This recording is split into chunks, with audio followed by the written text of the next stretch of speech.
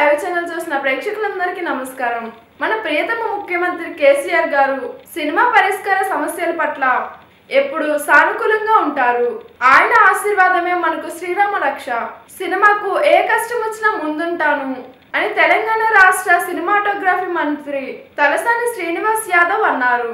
ఆయన జన్మదిన వేడుకలు తెలుగు చలనచిత్ర పరిశ్రమ ఆదర్భంలో శుక్రవారం ఘనంగా జరిగాయి. ఈ సందర్భంగా మంత్రి తలసాని శ్రీనివాస్ యాదవ్ మాట్లాడుతూ నా పుట్టినరోజు ఎంత ఘనంగా నిర్వహించిన తెలుగు చలనచిత్ర పరిశ్రమకు కృతజ్ఞతలు.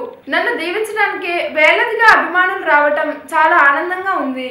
ఇంతమంది అభిమాన్ని చూడడానికి నా పూర్వజన్మ సుకృతం. ఈ చక్కటి ఆత్మీయ వాతావరణం ఎప్పటికీ ఇలాగే కొనసాగాలని కోరుకుంటున్నాను అన్నారు. అనంతరం తలసాని శ్రీనివాస్ యాదవ్ కుమారుడు.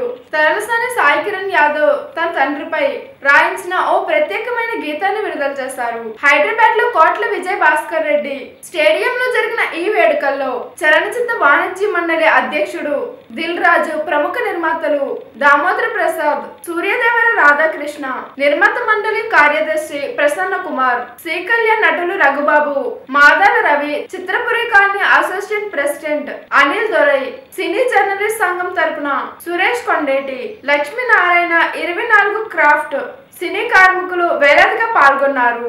ఈ కార్యక్రమంలో ఆహుతులని విశేషంగా ఆకట్టుకున్నాయి. చూస్తారు కదా ఈ వీడియో లైక్ చేయండి షేర్ చేయండి సబ్స్క్రైబ్ చేయండి. నేను మీ మనసు యాంకర్.